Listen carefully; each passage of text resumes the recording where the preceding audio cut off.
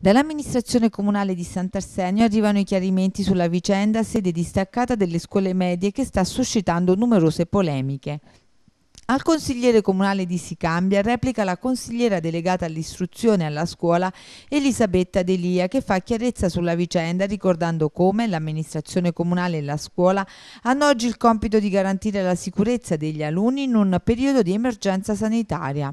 Con una lettera aperta la consigliera Delia sottolinea come per il prossimo anno scolastico non esistono delibere di giunta regionale che autorizzino una sezione staccata della scuola secondaria di primo grado a San Pietro Altanagro, reputando invece apprezzabile e doverosa da parte di un sindaco la messa a disposizione di locali nel proprio territorio di competenza in una fase di emergenza in cui bisogna far fronte a specifiche disposizioni in materia di sicurezza.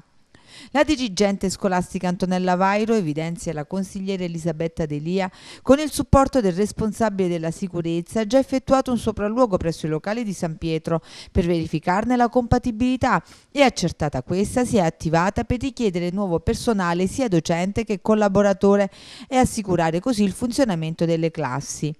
Va ribadito, continua, che l'eventuale delocalizzazione presso il plesso di San Pietro non comporterà nessun trasferimento coattivo a meno che non sia liberamente richiesto dalle famiglie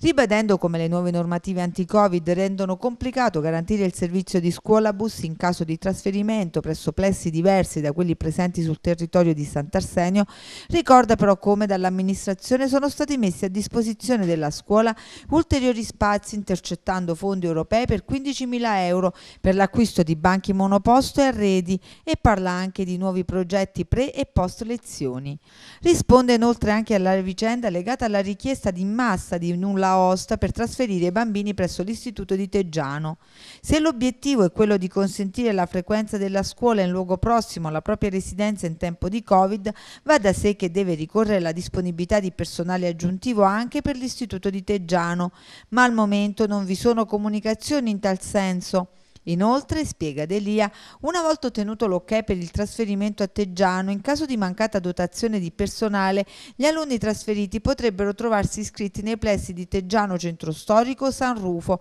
con conseguenze immaginabili per le famiglie.